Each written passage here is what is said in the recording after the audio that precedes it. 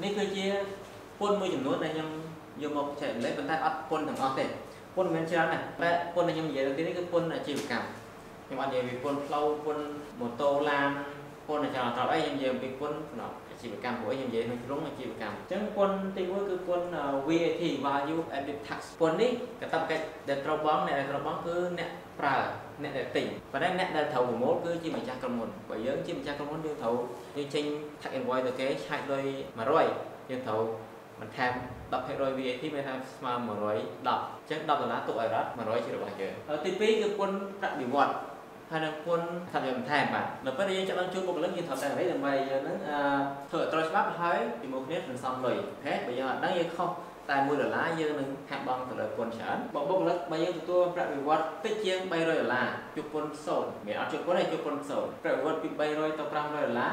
ជួប5%បើគាត់ជា single 500បង់ទៅបាត់ប៉ុន្តែបើគាត់រៀបការរួចហើយមានភរិយាឬក៏មានកូនមួយពីរ គឺអាចខ្លែងអត្ថប្រយោជន៍ពីរដ្ឋវិញខ្លែងបានប្រភេទយើងមានកូនទី1ប្រភេទទៀតកូនទី2ប្រភេទទៀតកូនទី3ប្រភេទទៀតកូនទី10 11ភេទខាងពន្ធអញ្ចឹងបើយើងចង់បានអត្ថប្រយោជន៍ច្រើនពីរដ្ឋយើងមានកូន10ទៅបាទ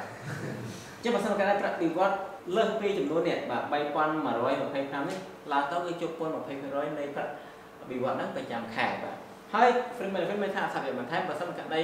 យើងផ្ដល់អត្ថប្រយោជន៍ដូចដូចគ្នាទៅដល់បុគ្គលិកទាំងអស់ឧទាហរណ៍ទិញ insurance ឲ្យបុគ្គលិកទាំងអស់ នឹងប្រើរូបមន្តនេះដើម្បីគិតប៉ុន្តែបើសិនករណីយើងទិញរបស់ណាមួយឲ្យបុគ្គលិកម្នាក់ខុសពីគេនឹងជួបពន្ធកម្រិតនេះ20%នៃតម្លៃ asset របស់ហ្នឹងម្ចាស់អាជីវកម្មត្រូវកាត់ពីបុគ្គលិកហ្នឹងយកទៅឲ្យរដ្ឋបើអត់កាត់ហើយខាងពន្ធណាធ្វើសកម្មកម្មឃើញកំហុសហ្នឹងបណ្ដេញមកម្ចាស់អាជីវកម្មអូខេខ្ញុំសង្ខេបប៉ុណ្ណឹងដើម្បីមកខាត់ពេលវេលាយូរទី3គឺពន្ធកាត់ទុកទៅលើថ្លៃជួលការិយាល័យឬក៏អឺ warehouse ឬក៏កន្លែង store ឯកសារផ្សេងៗកន្លែងដាក់តំណែងបាទគឺយើងត្រូវបង់10%នៃថ្លៃជួលរបស់យើងមានន័យជាអ្នកបង់គឺយើងជាអ្នកបង់ហើយយើងជាអ្នកយកឲ្យរដ្ឋកតាបកិច្ចយើងត្រូវបង់ជាម្ចាស់ជីវកម្មត្រូវបង់អញ្ចឹងពន្ធមួយទៀតគឺពន្ធកាត់ទុកទៅលើការផ្ដល់សេវាកម្ម professional ដែលបានចំជីដូចបងសួរខាងដើមថាចុះសំកាត់ដែលយើងអត់បានចំជីប៉ុន្តែយើងផ្ដល់សេវាកម្មទៅក្រុមហ៊ុនដទៃទៀតដែលបានចំជីហើយបើគាត់ជាជនបរទេសស្នាក់នៅស្រុកខ្មែរតិចជាង6ខែឬក៏ 182ថ្ងៃគឺត្រូវអនុញ្ញាតឲ្យក្រុមហ៊ុនដែលបានឆាយពីគេហ្នឹងកាត់ទុក14%ប៉ុន្តែបើសិនករណីយើងរស់នៅស្រុកខ្មែរលើសពី6ខែយើងអនុញ្ញាតឲ្យគេកាត់ពន្ធ15%បើសិនករណីយើងអត់ឲ្យគេកាត់គេអត់អាចអត់ប្រើសេវាកម្មព្រោះគេអត់បានទទួលអត្ថប្រយោជន៍ពីយើងគេគេត្រូវបង់ពន្ធជាមួយយើងចឹងគេចំណាយច្រើនអូខេបើសេវាកម្មរបស់យើងពាក់ព័ន្ធមួយ entertainment ដូចជា club ដូចជា hotel ដូចជាសេវាកម្មយ៉ាងលុយលុយហើយលក្ខណៈសម្រាប់ high class អឺ entertainment service គឺជួបពន្ធ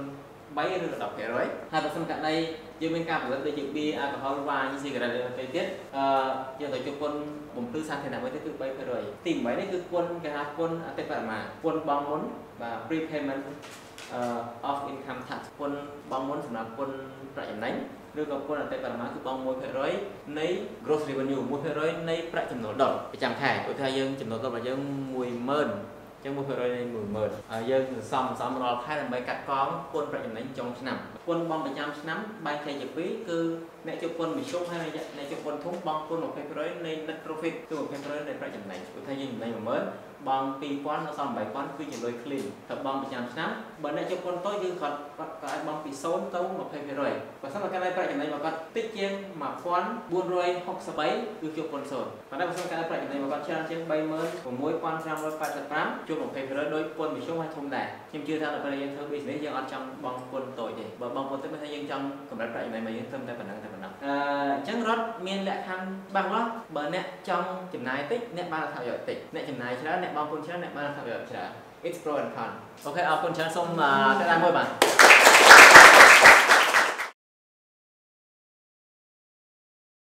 Making it easy, making Cambodia easy.